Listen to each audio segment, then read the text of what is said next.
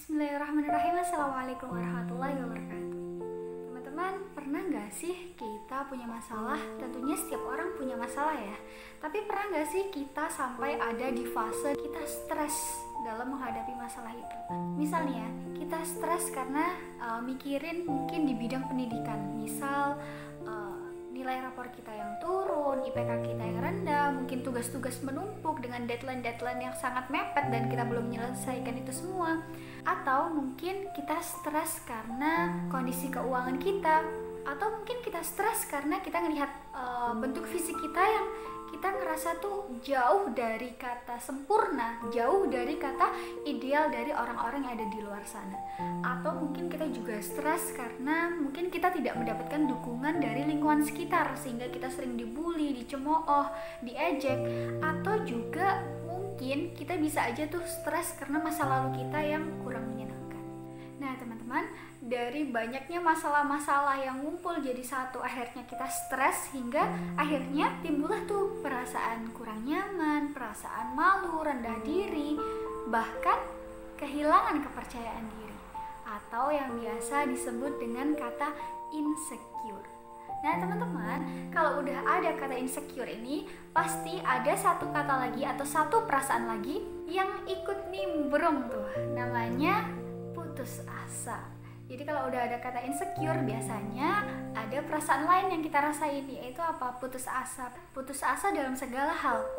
Jadi kita mungkin putus asa, lu nggak mungkin deh aku bisa menyelesaikan ini semua dan lain sebagainya seperti itu. Padahal teman-teman, la asu min rawahillah. Jangan pernah berputus asa. Mungkin kita boleh tuh berputus asa dengan diri kita sendiri.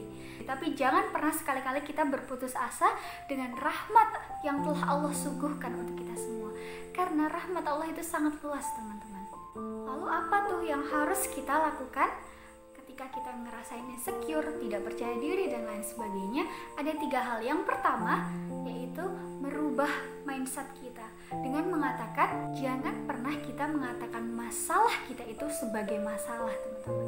Tapi teman-teman jadikan masalah yang kita hadapi ini adalah bentuk kasih sayang Allah kepada kita semuanya. Teman-teman pasti tahu ya, kita mulai dari kecil uh, mengenyam pendidikan dari mungkin dari TK, dari SD ke SMP dan sampai saat ini mungkin ada yang kuliah, ada yang bekerja. Di, di setiap tingkatan itu saat kita ada di tingkatan pertama menuju tingkatan kedua, kita selalu dihadapkan dengan ujian-ujian. Ada yang uh, ujian semester dan lain sebagainya. Lalu kenapa sih setiap kita mau uh, naik kelas atau naik ke tingkatan kita melaksanakan ujian? Untuk apa sih teman-teman? Untuk mengetahui pantaskah kita, layakkah kita untuk naik ke tingkat berikutnya. Sama teman-teman dengan masalah, jadikan masalah ini adalah caranya Allah untuk meninggikan level kita naik satu derajat lebih tinggi dari level sebelumnya. Teman-teman yang dirahmati Allah, Jadikan masalah ini adalah bentuk kasih sayangnya Allah teman-teman. Jadikan masalah ini adalah bentuk rindunya Allah kepada kita semuanya. Allah itu rindu banget ke kita teman-teman. Dan Allah itu ingin selalu dekat dengan hambanya. Mungkin kita aja tuh yang jauh Tapi Allah itu ingin selalu dekat dengan hambanya Coba teman-teman kita bayangin Kapan sih kita bisa merasakan Kita bisa sholat dengan khusyuk Kita bisa sujud dengan sujud yang sangat lama Kita bisa berdoa dengan berderai-derai air mata. Saat apa teman-teman? Apakah saat kita ada di puncak kejayaan Atau kita sedang jatuh di lembah kerugian? Saat kita sedang jatuh teman-teman.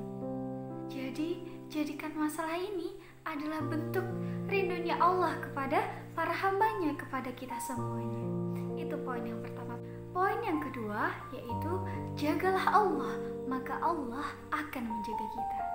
Karena teman-teman, Allah telah berfirman dalam Al-Quran, Inna nahnu nazalna dzikra wa inna lahu lahafidun. Inna, sungguhnya kami, nahnu, kami, nazalna dikro, dan kami yang telah menurunkan Al-Quran, wa inna lahu lahafidun, dan kamilah yang benar-benar menjaganya.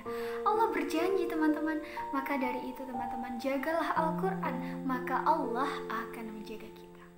Lalu poin yang ketiga, saat kita merasa insecure, yaitu perbanyak bersabar dan bersyukur. Jadi tadi teman-teman tiga poin penting ketika kita merasakan insecure. Jadi teman-teman sekali lagi jangan pernah menganggap masalah yang kita hadapi ini adalah sebuah masalah, tapi jadikan masalah yang kita hadapi ini adalah bentuk kasih sayang Allah kepada kita semua.